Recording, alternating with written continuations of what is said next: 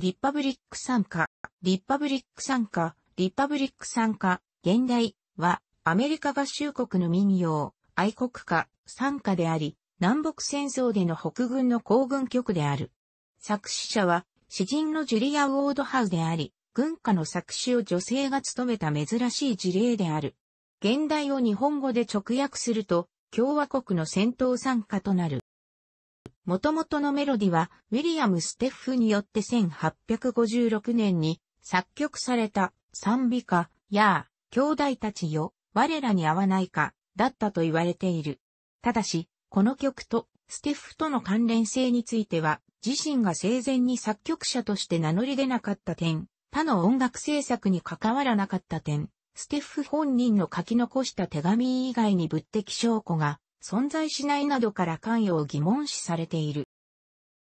ステッフによる作曲という説は1880年代に登場したものであり、英文学者のが1887年に詩で紹介したことを契機に広まった。マシューズによると1856年にサウスカロライナ州チャールトンにある消防団から困ったことがあれば我らに合わないかという歌詞に合う曲作りを依頼され、その曲に新たに歌詞が付け加えられるなどして、後に賛美歌、やあ、兄弟たちよ、我らに合わないか、へと変化したとしている。一方、ジャーナリストのボイド・スタドラーの調査では、1855年、または1856年頃に、フィラデルフィアのグッドウィル消防隊からバルティモアのリバティ、消防隊を歓迎するための歌の作成を依頼され、困ったことがあれば、我らに合わないかに曲をつけた、と、ステッフ自身が発言したという。一部の研究者は、ステッフが作曲する以前に、黒人の伝統音楽にルーツを持つとする説を支持している。この他ジョージア州に住むアフリカ系アメリカ人の婚礼の際に歌われていたとする説、またはスウェーデンの主演の歌として生まれたものがイギリスに伝播し、船乗りの労働歌として定着したとする説がある。ルーツを特定することは困難であるが様々な文化と民族から影響がもたらされたことは確かで、当時の音楽制作における復興運動の影響もあり自由な作曲がなされた。歌詞については1858年に出版されたユニオンハープとリバイバル聖歌隊員という賛美歌集が内容を確認することが可能な初出文献とされる。やあ、兄弟たちよ、我らに会わないかのメロディは、狂信的な奴隷制度廃止論者のジョン・ブラウンの功績を称える歌に引用された。ブラウンは奴隷所有者に対し武力攻撃を仕掛ける過激な人物で、1859年にバージニア州の連邦武器庫の襲撃に失敗し、捕らえられ、同年12月2日に公主刑に処せられた。この後、ブラウンの信奉者たちによって歌が作られ、1861年4月の南北戦争開戦以来、北軍の非公式な行軍曲として兵士によって盛んに歌われた。1890年、南北戦争の際に、ボストンの第二不評大隊、通称、タイガース大隊に所属していた、ジョージ・キンボールは、ジョン・ブラウンの体は、の成立の経緯について、雑誌に次のように記した。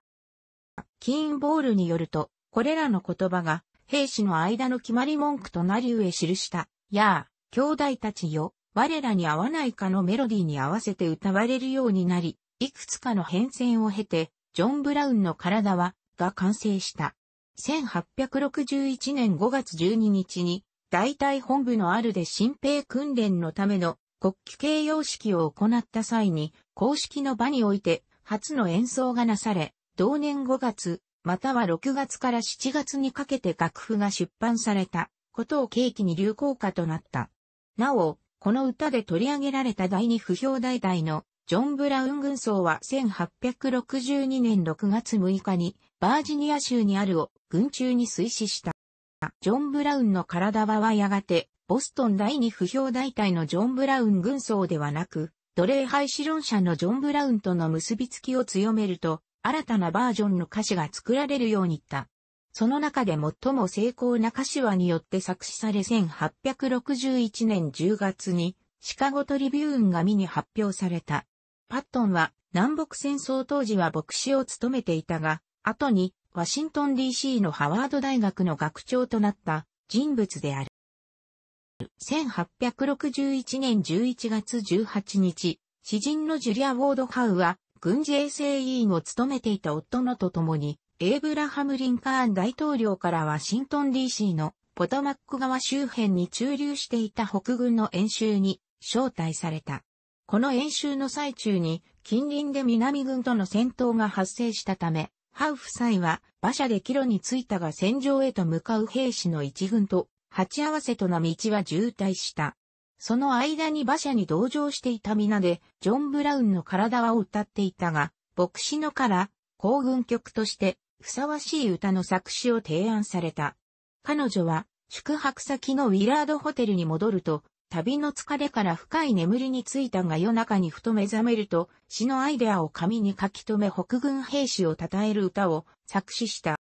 ハウが11月19日に書き記した歌詞は、草案の状態であり、さらに修正を加えた歌詞を、へ送った。同種の編集者であるによって、共和国の戦闘讃歌と命名され1862年2月号において、匿名で発表された。フィールズから作詞者のハウに支払われた報酬は5ドルだったという。アトランティックマンスリー1862年2月号に掲載された歌詞は1番から5番までで、コーラス部分を含んでいなかった。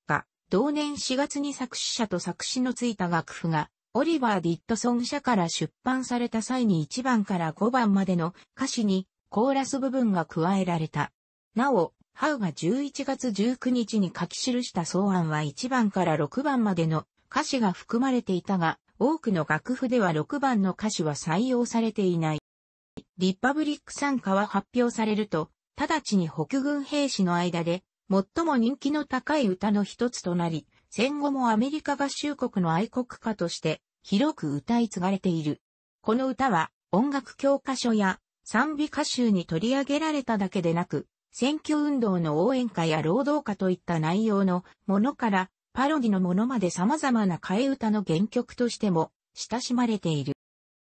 歌詞には、新約聖書のヨハネの目視録の影響があり、神の正義を期待する感情と、グローリ、グローリー、ハレルーヤという神の最終的な勝利を称える表現が記されている。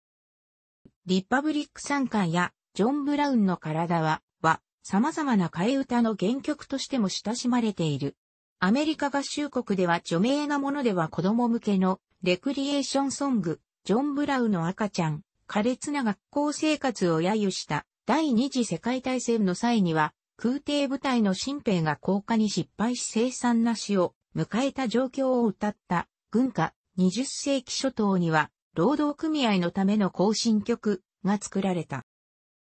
南北戦争の時代には、リパブリック参加のメロディを用いた、という替え歌が作られた。この歌は、ペンシルベニア州のフィラデルフィアで、有色人種の部隊を募集するために作成されたもので、歌には、黒人の誇り、闘志、完全なる平等を求める意志などが記されていた。その後、約一世紀近く忘れ去られていたが、後の公民権運動の精神を先取りする歌詞が記されていたことから1960年代に沢のミュージシャンによってカバー曲として使用された。ジョーン・バイズをはじめとして多くのミュージシャンによりカバー曲として使用されている。1959年にモルモンタバナクル合唱団がグラミー賞においてコーラスグループ部門と防火グループ部門のベストパフォーマンス賞を受賞した。エルビス・プレスリーは1972年に北軍の軍歌であるリパブリック参加と南軍の軍歌であるをメドレー形式で歌ったと異曲を発表した。作家のジョン・スタインベックは1939年に小作農民の苦難を描いた怒りの武道を発表したが、この題名はリパブリック参加の一節、彼は怒りの武道が蓄えられた貯蔵庫を踏みつけに由来ている。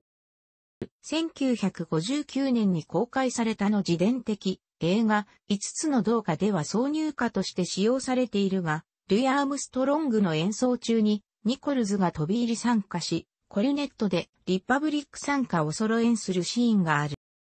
歌詞の最初のライン、私の目は、神の降臨と栄光を見たは、マーティン・ルーサー・キング・ジュニア牧師が暗殺の前夜、1968年4月3日に行った演説の最後の一節として引用された。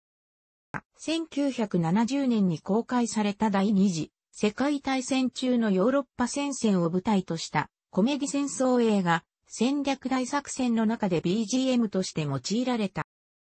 日本では明治期の1890年にクリスマスの子供賛美歌集、同盟賛美歌、奥野正綱、戸川康成による作詞の歌へ祝いとして初めて紹介された。2年後の1902年には初の楽譜付き軍歌集、日本軍歌に、進め進め、戸川康成による作詞として収録された。一般向けの賛美歌としては、悪魔と他の替えが初めて採用され1898年に谷種吉によって編纂されたキリスト教福音唱歌に収録された。また替え歌としても1905年に早稲田大学に初の応援組織が結成された際に野球応援歌が作られ1907年に出版された早稲田歌集に収録された。陸軍中央幼年学校では、堅苦しい教科を揶揄した学科嫌いという歌が作られ10期生、陸士25期生が自費出版した歌集100日祭に収録された。この歌集はすぐに没収、焼却処分されたが口伝えで太平洋戦争終結時まで歌い継がれた。大正期には上長明月作詞のバラの歌が演歌詞に歌われ、女学生の間で流行した。また浅草オペラの交流とともにオペラソングのメロディとして歌われた。昭和期には1932年にアメリカ合衆国出身のバートン・クレーンが誰、放火やるじゃろとして発表したが、脈略のない歌詞が特徴となっている。1940年には永田哲夫、東達造作詞、灰田幸彦編曲による、おたまじゃくしは河津の子が作られハ田勝彦の発表したレコード、コリャサの温度の B 面に収められヒットした2002年まで今川和彦東達造の作詞と誤って著作権登録されていた。おたまじゃくしは河津の子の元々のメロディはハイダ兄弟の出身地であるハーイの民謡な木エハーをモチーフとしたものだったが感想にリパブリック参加のメロディを用いたことからやがてリッパブリック参加の替え歌として認知されるようになった。初出の時期は定かではないが、ジョン・ブラウンの赤ちゃんを訳した、ゴンベイさんの赤ちゃんや、太郎さんの赤ちゃん、主題をおはぎに置き換えた、おはぎが、お嫁に、などの替え歌が作ら、動作をつけたり、歌詞の一部を抜いたりして歌う、遊び歌として親しまれた。ゴンベイさんの赤ちゃん、太郎さんの赤ちゃんは、戦後すぐに松田実が編纂した歌集、楽しい歌に収録され、金プソングとして、また幼児教育の現場において、必修曲として用いられ誰にでも気軽に親しめる歌として定着している。1965年には、詩人の坂田博夫が日本放送協会の音楽番組、歌のメリーゴーランドから、リパブリック参加に合う日本語による歌の作詞を依頼され、友達参加が作られた。この歌は1971年に東京書籍の教科書、新しい音楽4に採用されると、その後も音楽教科書に使用されている。友達参加は1967年2月発売の LP、歌のメリーゴーラウンド第3週、日本ロムビア KKS-4005 に、東京マイスタージンガーと杉並児童合唱団の歌で収録されている。その他には歌詞にウルトラシリーズのキャラクターを歌い込んだ、一丁目のウルトラマン、一丁目のウルトラマンという替え歌がある。一丁目のウルトラマンは、もともと安倍直美が作詞、作曲した同様、一丁目のドラ猫の替え歌として作られたものだったが、その後、リパブリック参加の替え歌として歌われるようにな。このバージョンは、新たな歌詞を追加した上で2013年4月17日にウルトラマンメビウスで、天貝好みを演じた、平田渡里の歌で、CD 発売された、ボイジャーフィーチャリング天貝好み名義。ボイジャーのシングル、勇気の卵、奴らがウルティメイトフォースゼロ。にスペシャルトラック扱いで収録。CM ソングに使用されることもあり、ヨドバシカメラの CM ソング、ヨドバシカメラの歌のメロディとして知られる。この CM ソングは、同社社長の藤沢明和の作詞によるもので1975年の新宿西口本の開店に合わせて、テレビ CM や店内放送として流されると広く親しまれるようになった。その後、時代の流れに合わせたマイナーチェンジや各店舗ごとにアレンジした歌が作られるなどの変遷を、へ2000年代に至っている。2017年には、リッパブリック参加に、キャッキーが作詞したものが、大黒ドラッグの店内放送として流されている。このほか、東海地方では、メガネプラザ、関西地方では、山上の桜付けや、XCIT、上新電機とヨドバシカメラの合弁店舗、2013年の時点では、閉店の CM、佐賀県では、お米ブランドの佐賀日和の CM にも替え歌が使われている。1994FIFA ワールドカップアジア地区予選において日本代表サポーターによりリパブリック参加のメロディーに乗せたチャントが歌われた。歌詞の内容はアメリカへ行こう。皆で行こうとシンプルなものだったが、1993年4月8日に神戸で行われた一次予選の対戦から同年10月28日にカタールのドーハで行われた最終予選のイラク、ドーハの悲劇に至るまで歌われた。また、サッカークラブの横浜 F マリノスやコンサドーレ札幌のサポーターが歌うちゃんとのメロディとして用いられている。プロ野球では、千葉ロッテマリーンズが、ホセ・フェルナンデス・ホセ・オーティズの両外国人選手の応援歌として使用。韓国、ロッテジャイアンツでもチームの応援歌として歌われている。2018年に公開されたアニメーション映画、クレヨンしんちゃんバックサカン。カンフーボーイズヘシャゲメンタイランでは、桃色クローバー Z の歌う挿入歌、ブラックパンダラーメン参加のメロディとして用されている。アイルランド共和軍の歌のメロディに使われた。アイルランド独立戦争中の第一ベルファスト大隊、または西ベルファスト大隊の活躍が歌われている。サッカー北アイルランド代表サポーターの歌うちゃんと、俺たちはブラジルじゃない、俺たちは北アイルランドだ、のメロディとして用いられている。イギリスの政治家で第二次世界大戦の際に首相を務めたウィンストン・チャーチルのお気に入りの曲でもあった。1965年に行われた国葬の際には、家族からの要望もあり彼が生前に愛聴していたに、3の賛美歌とともに、リパブリック参加が演奏された。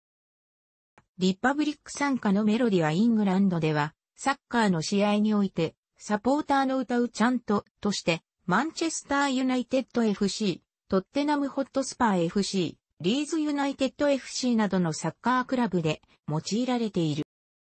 ロシア帝国末期からソビエト連邦初期の作曲家のアレクサンドル・グラズノフは1893年にクリストファー・コロンブスのアメリカ大陸発見400年を記念してシカゴで催されたバンコク博覧会のためにリパブリック参加をモチーフとした還元楽曲、勝利の行進曲作品40を作曲した。東アフリカのケニアでは1963年の独立の際に大統領のジョモケニヤッタが戦闘に立ち民衆に団結を呼びかけるハランベイという言葉がスローガンとなったが、それに伴いリパブリック参加のメロディに乗せたハランベイソングという歌が歌われた。ハランベイとはスワヒリ語で農村共同体が力を合わせて共同作業に努めることを意味する。楽しくご覧になりましたら、購読と良いです。クリックしてください。